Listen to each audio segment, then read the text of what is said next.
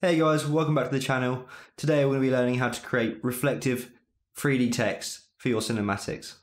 Let's go. So as you can see, we've got After Effects opened up. I've got a composition um, opened for the resolution of 1920 by 1080 and I've already imported a cinematic. So I'm just going to drag that down to the timeline. And the very first thing you're going to want to do is right click, click track and stabilize, and then track camera. This will take a little while um, and I will come back to you once that's done. Okay, so now that the camera has been tracked, you will notice that across your footage you'll have all of these little um, node points um, and when you hover over them you get this um, bullseye sort of uh, diagram or symbol should I say. If you don't see these points, make sure that you have the render track points box checked. Now, what you're going to want to do is decide roughly where you want your 3D text to appear, and you're going to want to find uh, a, point with your uh, the symbol on the screen where that's nearest to the point where you want your 3D uh, text to be. So for me in this cinematic here is I want my 3D text to appear sort of around this area. So I'm going to pick um, somewhere that is the nearest point to that. So um, for me, it's going to be around this sort of area. So I'm, I'm going to choose this point here. Um, once you've found that area, you want to right click and then click on create null and camera. So we've now got our null down here. Um, so all we're going to be using that for is for the 3D positioning of that area. So we'll come back to that in a little while. Now we're going to create our text layer. So we're simply over here in the um, layer uh, section. you want to right click, press new, then new text. Over here you can change your text size, your font, etc. Anything, the color doesn't matter. Um, and I'm literally just going to type 3D text tutorial. Tutorial written underneath like that. Um, once you've done that, just press off the layer and you can then hide it. Now that we have our text layer ready to go, um, which will be the reference for our 3D text, you're going to want to right click over here again on the layer section, press new and new solid. I'm going to set it to black, it doesn't really matter. Um, make sure that the width and height is the same size as your composition and press OK. Now over on your effects and preset section, this is where you're going to require the Element 3D plugin. All you need to do to find the Element 3D plugin is just Google, uh, YouTube search it. Um, or go direct to their website and purchase it. Once you've got that installed, um, you're going to want to search for Element over here and it'll be under the video copilot section and just simply drag and drop that onto your new solid layer. Once you've done that, you'll notice that the black disappears and we can go into setting up our 3D text. So the first step with Element is to next to where it says custom layers, press the little arrow, and then next to custom text and masks, and then path layer one, where it says none, choose your text layer. Now that you've done that, you can close those down, and then we want to press on scene setup. Wait for that to load up. Now we're inside of element. Um, you just want to press extrude, and you will see that you've got your the text that you um, created earlier um, in a 3D space. Now this bit is totally optional, but I always tend to put my bevel scale up a little bit larger. So I'm going to set it to about four. There we are. And it just creates a bit of a nicer um, looking uh, 3D space on the text. Now, down here, we're going to um, choose the texture I'm going to use on the text. Um, I've got a couple of different packs here, which yet again you can find by searching YouTube. Um, I highly recommended the Pro Shaders 2 because the textures are, are absolutely brilliant, and the um, metal textures that they've got work perfectly for the sort of look we're going for on our cinematic text here. Now, I tend to use um, one that's called Foil. Uh, let me just try and find it. There it is, clean metal foil. And then once you found the texture you want to use, you literally just want to drag it onto your text, like so. And you'll see that the texture has now been applied. Then all you simply want to do is press OK. And that's the 3D texturing side of the text done.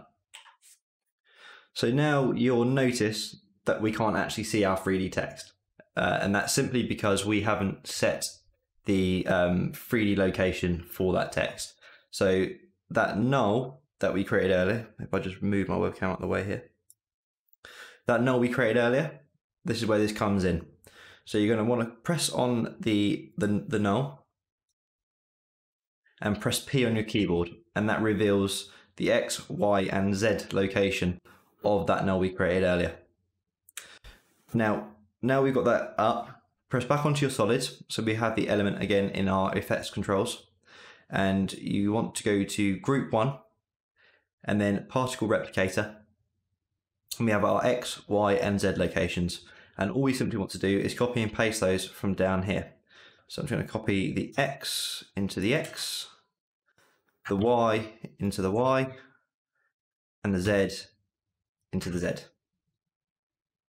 And it's in the wrong location still, but it's now on our screen.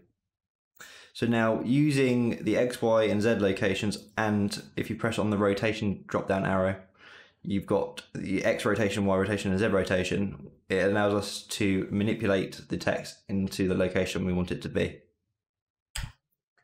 So to correct the location of our 3D text, we're going to want to uh, change the values of the X, Y, and Z. Um, and also you might need to rotate the text so that it's facing our camera viewpoint in the way that you want it to.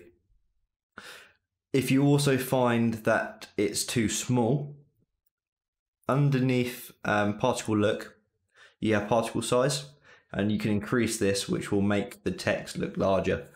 Um, where I'm recording at the minute, I can't. The um, rendering of the of my of my screen isn't great, so I'm going to go away. I'm going to set the text to, a, to how I want it to be, and I'll come back to you. One thing to quickly note whilst I'm playing around with the location of my text is to make sure that you go through the time the timeline of your footage to make sure that the text looks perfect in every every uh, viewpoint of it. So, for instance, in my original viewpoint of here, that location is is great for me. But then if you go back to the very beginning of my footage, you'll see that it's overlapping the wall and all that sort of thing. So it just doesn't look correct. So just make sure as you're doing this that you're going to check it from different viewpoints along uh, the timeline of your footage to make sure that you're happy with the way it looks in every location. Okay, so I've managed to get my 3D text into a location that I'm happy with. Um, and I've also got rid of the um, the tracker points from my footage. And the way to do that is you literally press on your footage layer and you got your 3D camera track under your effects controls and just uncheck the render track points checkbox. Right, so the, we're going to go on to the next uh, stage now, which is to add the reflections to our 3D text because currently it's got the reflections from the texture we put on, but it doesn't reflect the world around what we're looking at. So the way we do this is you just want to create a duplicate of your cinematic footage. So just press on the original layer and just press Control and D on your keyboard, and that will create a um, duplicate. Um, find a location in your cinematic that there's good coloring and everything. I'm just going to use this same spot as I've done most of the work from. Um, and then right click, go to time, and then freeze frame. Ignore that because we can uh, delete the 3D camera tracker off of that duplicated layer.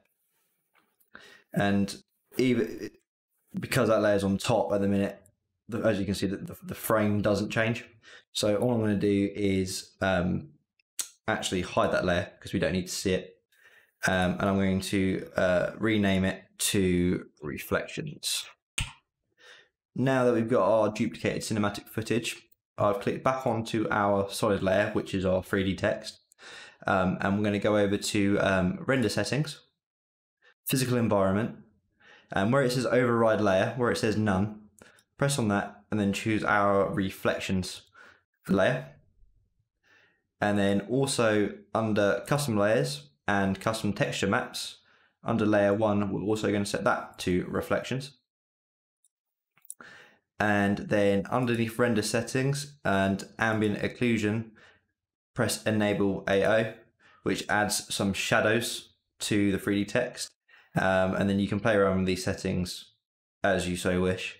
Um, but I'm going to leave them at default. And now you can see that our 3D text has, let's try and render this whilst I'm recording. It has real world reflections. So as I play through it, you can see that it's reflecting the world around it. So it actually looks as if it's there. The reason this is happening is because obviously um, the end of our cinematic footage is here and we have these layers um, continue on afterwards. So I'm just going to select those three layers that are past it, um, press Control Shift and D on my keyboard, and then just delete all these bits that are after. And then, uh, yeah, how's that? So there we are. That's the uh, tutorial. Um, I hope it was helpful to you and you'll be able to use this in your um, cinematics. Um, if it did help, remember to like and subscribe um, so you can keep up to date for any other new tutorials I bring or any of my new game edits. Um, yeah, until the next one, guys. Thank you very much. See you around.